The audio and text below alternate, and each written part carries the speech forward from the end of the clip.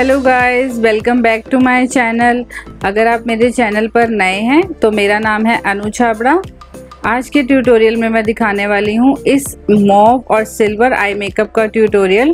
तो अगर आप इस वीडियो में इंटरेस्टेड हैं तो बने रहिए मेरे साथ। और अगर वीडियो अच्छा लगे तो इसे दीजिएगा एक बड़ा सा थम्स अप और मेरे चैनल को सब्सक्राइब करना नहीं भूलिएगा।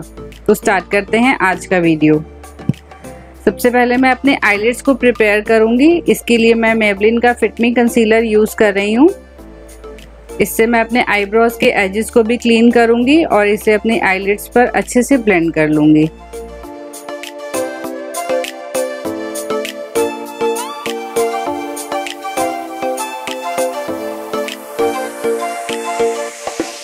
आप चाहें तो किसी आई प्राइमर का भी यूज़ कर सकते हैं बट मैं आज कंसीलर ही यूज़ कर रही हूँ। इससे हमारे आई शेडोज बहुत वाइब्रेंट दिखेंगे।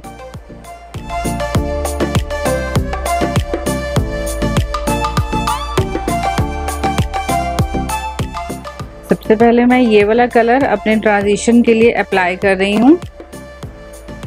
ये बहुत ही अच्छा आई पैलेट है। इसके कलर बहुत पिगमेंटेड हैं और बहुत अच्छे से ब्लेंड होते हैं।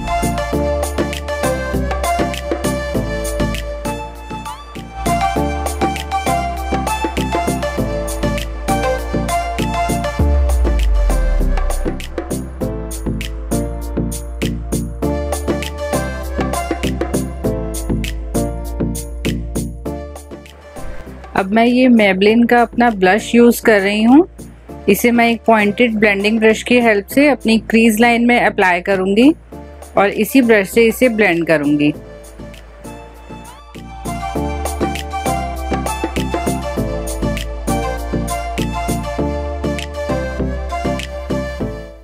इस कलर को मैं अपने आईज के आउटर कॉर्नर्स में भी ब्लेंड करूँगी।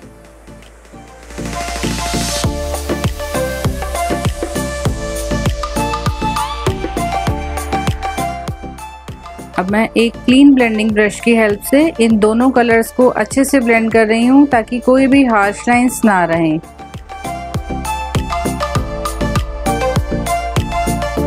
नेक्स्ट मैं ये डार्केस्ट मॉविश कलर यूज़ करूँगी और इसके लिए मैं ये स्मॉल डिटेलिंग ब्रश यूज़ कर रही हूँ।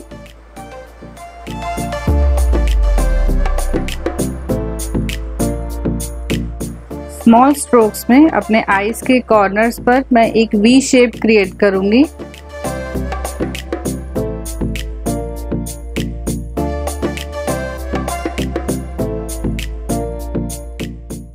आज मैं हेलो आई कर रही हूँ, इसलिए मैं आईज के इनर पार्ट में भी एक स्मॉल वी शेप क्रिएट करूँगी।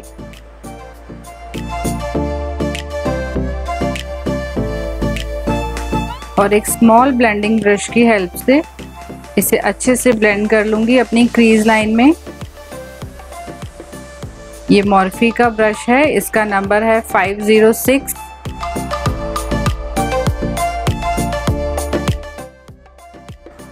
इन दोनों कॉर्नर्स को मैं आपस में कनेक्ट करूँगी और अपने लिड के सेंटर पोर्शन को मैं क्लीन रखूँगी।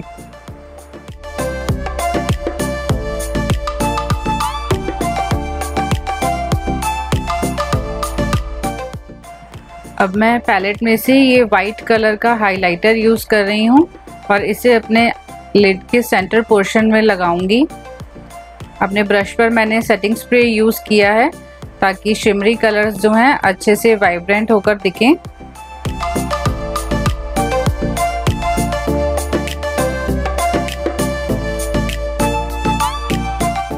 और इस लिड कलर को कॉर्नर के साथ ब्लेंड करने के लिए मैं ये सेकंड हाइलाइटर ले रही हूँ।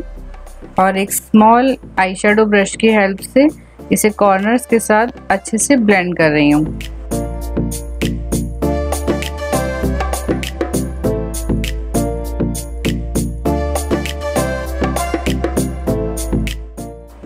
अब उसी सिल्वर हाइलाइटर से मैं अपने ब्राउ बोन को भी हाईलाइट कर रही हूँ।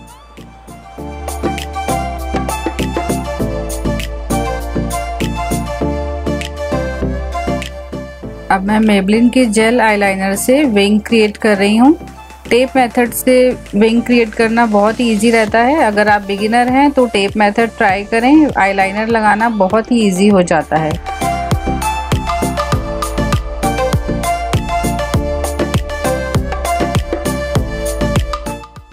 अब मैं छोटे छोटे स्ट्रोक्स लगा रही हूँ और उसके बाद इन्हें आपस में कनेक्ट कर दूँगी। ये लाइनर लगाने का बहुत ही ईजी तरीका है।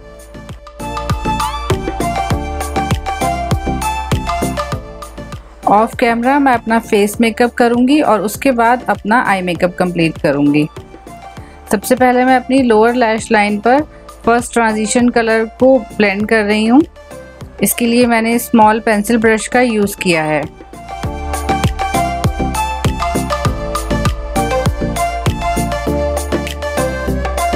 और अब स्मॉल ब्रश की हेल्प से डार्क मॉप कलर को अपनी लैश लाइन के बिल्कुल पास ब्लेंड करूँगी।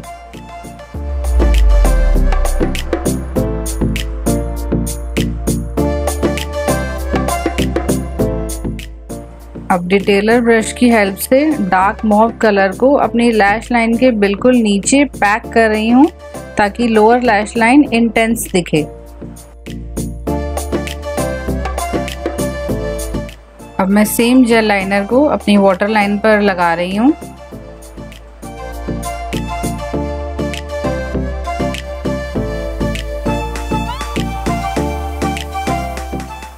अब एक स्टिफ पेंसिल ब्रश की हेल्प से मैं इसे अपनी लोअर लैश लाइन के साथ ब्लेंड कर लूँगी।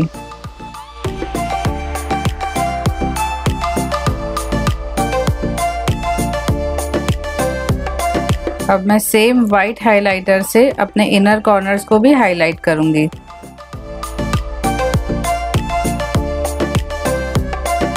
अपने लैशेस को कर्ल करूँगी और इस पर मस्कारा लगाऊँगी। आज मैं मेबलिन का बिग शॉट मस्कारा यूज़ कर रही हूँ। इसके मैं दो कोट्स अप्लाई करूँगी क्योंकि आज मैं फॉल्सीज यूज़ नहीं कर रही हूँ।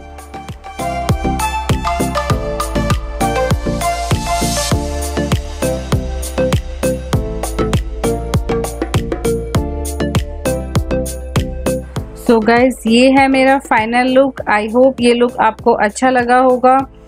इसे आप किसी भी स्पेशल ओकेजन पार्टी या इवेंट में क्रिएट कर सकते हैं।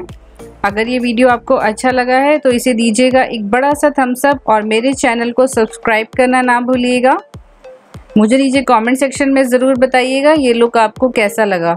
तो मैं चलती हूँ गाइज़ और आपसे मिलती हूँ अपने अगले वीडियो में। Till then take care bye bye